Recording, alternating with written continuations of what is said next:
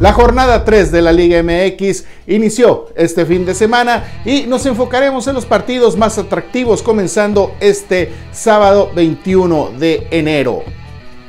Tenemos que primeramente el América recibe al Puebla este sábado 21 de enero a las 18.10 horas tiempo del el Pacífico.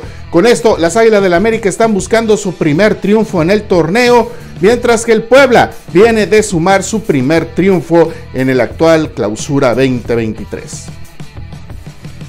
Seguidamente, el alicaído Necaxa, que no encuentra la suya después de dos derrotas, pues va a recibir nada más y nada menos que al Cruz Azul, que viene igualmente herido. Este partido es el sábado 21 de enero a las 20 horas con 10 minutos, tiempo de El Pacífico.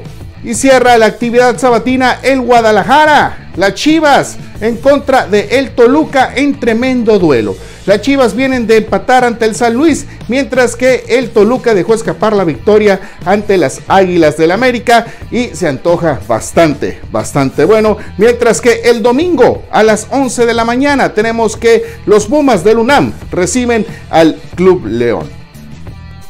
Y recuerde, toda la acción del fútbol mexicano la puede ver en los Estados Unidos a través de la aplicación Hulu, también la puede ver a través de Telemundo en lo que se trata de los partidos de las Chivas de local y de TUDN para los demás encuentros. Mientras que en México puede checar en TV Azteca, Televisa y VIX Plus.